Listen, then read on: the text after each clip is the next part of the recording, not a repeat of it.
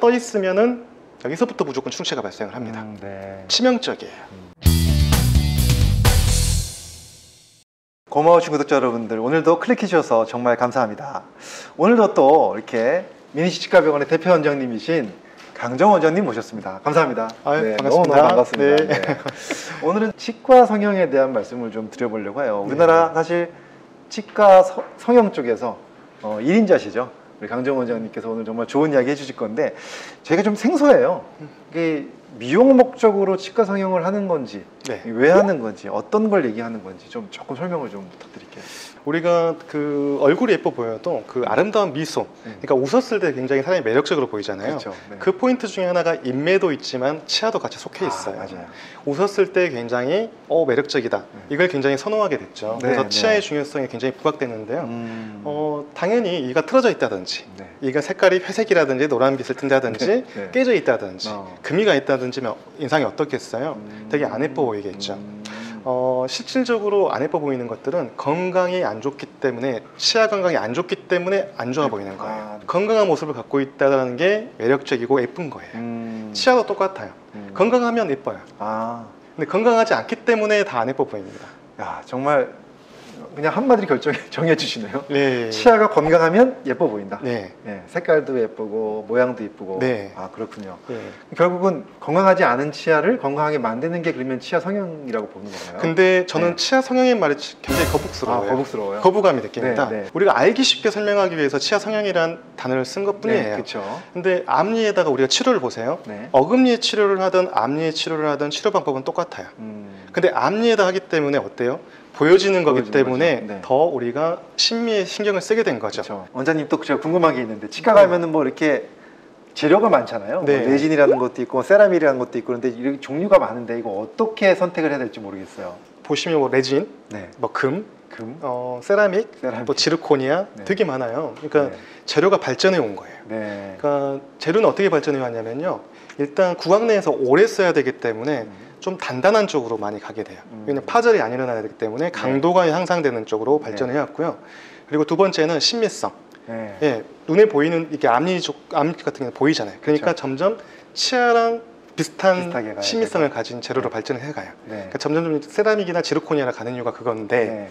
실적으로 강해지는 거는 우리 의사나 기공사의 편의성을 위해서 강해진 거예요. 음, 만들기 쉬우라고 안 만들기- 깨지, 깨지지 말라고. 깨지지 말라고. 근데 제일 중요한 포인트는요. 네. 아까 내가 갖고 있는 치아의 물성과 똑같은 재료가 제일 좋아요. 그렇죠. 예, 똑같은 강도에 오히려 깨져야 돼요. 음, 똑같은 마모도를 가져야 돼요. 네. 달아지더라도 같이 달아줘야 돼요. 네. 얘가 마모도가 좋잖아요. 그러면 반대쪽에 있는 치아가 달아집니다. 아, 충격을 받으면 깨져줘야 되는데 안 깨지면 다른 부위가 파절이 와요. 음, 예.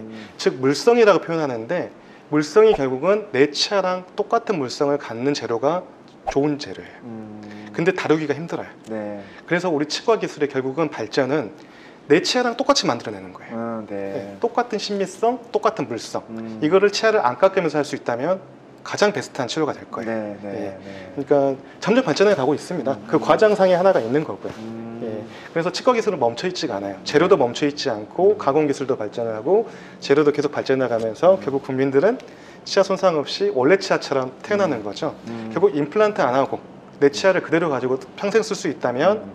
가장. 좋은 치료죠. 예, 네. 예.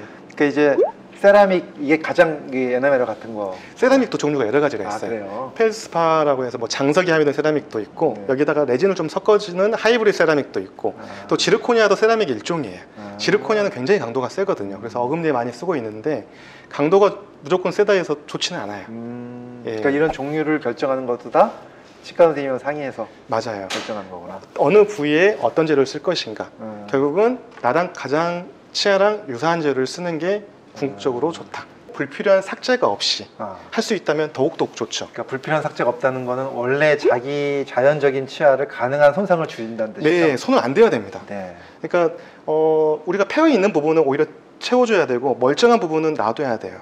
음, 치아 처리의 목적은 뭐예요? 손상된 부위만 덮어내는 거예요. 최소한으로. 예, 그래서 삭제란 표현보다는 아, 채워주는 치료가 맞아요. 불필요한 삭제 없이 음, 치료를 위해서 치아를 건강하기 위해서 들어가야 되는 거지. 음. 단순하게 치아를 예뻐지게 하기 위해서 이를 많이 삭제하고 치료는 하지 않아야 된다는. 거죠. 예. 아, 지금 원장님 말씀을 들어보니까 아 진짜 이 치아 성형 아까 그런 표현 별로 안 좋아한다고 말씀을 하셨지만 네.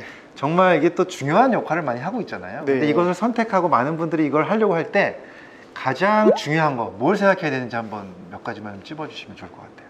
탈이 안 난다 해야 되는 거예요. 일단 탈이 안 나야 된다. 예. 아, 하고 그러니까 나서 부작용이 없어야 한다. 부작용이 없어야 된다. 예. 중요하죠. 그리고 네. 오래 가야 된다는 거죠. 오래 가야 된다. 그리고 가능한 한 건강하게 오히려 만들어내야 된다. 건강하게 만들어내야 된다. 예. 예. 그리고 건강한 치아는 가능한 한 건들지 않는 게 좋다. 음, 예. 건강은 안 건드려야죠. 예. 네. 근데 일단은 근데 고객분이 환자분께서 선택할 수밖에 없는 상황이 있잖아요. 내 그쵸. 인생에서 너무 중요한 포인트야. 네. 어쩔 수 없이 이제 할 수밖에 없는 없어요. 상황이 있는데 네.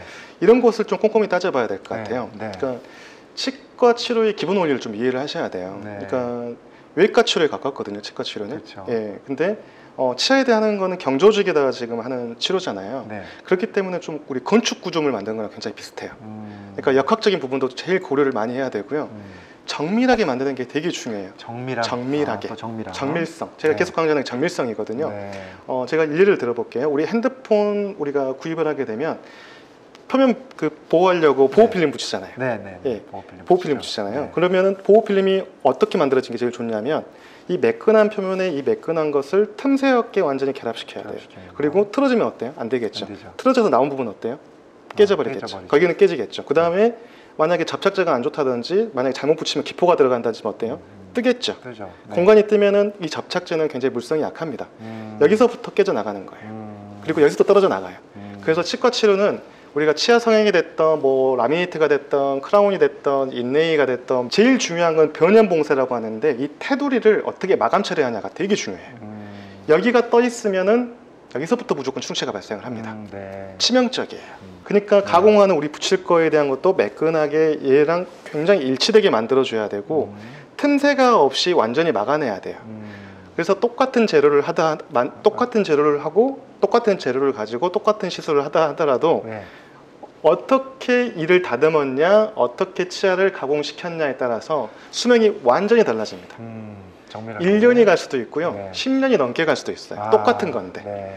즉 굉장히 섬세한 작업들이 들어가서 틈새 없게 하는 것. 이건 의사의 능력도 굉장히 중요하고요. 네. 경험치도 굉장히 중요하고 가공하는 우리 그 치아를 만드는 네. 기공소라 기공사라고 하거든요. 기공사. 기공사의 테크닉과 기술이 굉장히 굉장히 중요해요. 아, 이 노하우가 네. 굉장히 중요합니다. 음, 예.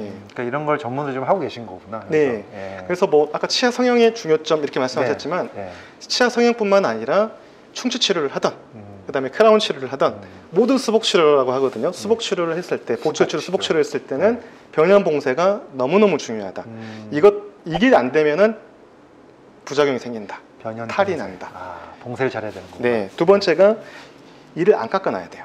아, 깎지 말아야 된다. 예, 에나멜이 그대로 남아 있으면요. 음. 변형 봉쇄가 깨지더라도요. 에나멜이 보호층이 남아 있잖아요. 아, 네, 네. 충치균이 들어와도 못 뚫어내요. 아, 근데 이를 깎아놓은 상태에서 변형 봉쇄가 깨지면 어떻게 되죠? 충치균이 바로 들어오겠네. 바로 큰일 납니다. 아. 그래서 옛날에 과거에 크라운 치료가 정밀하지 않게 받았을 때 엑스레이 아. 찍어보면 안 나타나거든요. 네. 뜯어보면 안에가 다 썩어져 있어요. 아이고. 음. 그래서 임플란트를 하는 경우가 제일 많았어요. 음. 크라운 치료를 하고 나서 순서가 바로 이제 그 다음 번이 발치하고 발치, 임플란트. 임플란트. 변형 봉쇄가 깨져서 그 틈새로 들어온 거예요. 음. 예. 오늘 정말 이 저도 잘 몰랐던 분야인데 네. 치아 성형이라고 표현할 수 있는 이 부분에 대해서 너무 솔직하게 네. 너무 자세하게 설명해 주셔서 너무 감사드리고 아마 이런 것들을 좀 이렇게 고민하고 계셨던 많은 시청자분들께서 선택하시고 결정하시는데 큰 도움이 됐을 것 같은 느낌이 듭니다. 너무 네. 감사드립니다. 네. 어, 시청해 주신 여러분들 너무 감사드리고 여기까지 마치겠습니다. 수고하셨습니다. 네, 감사합니다. 감사합니다.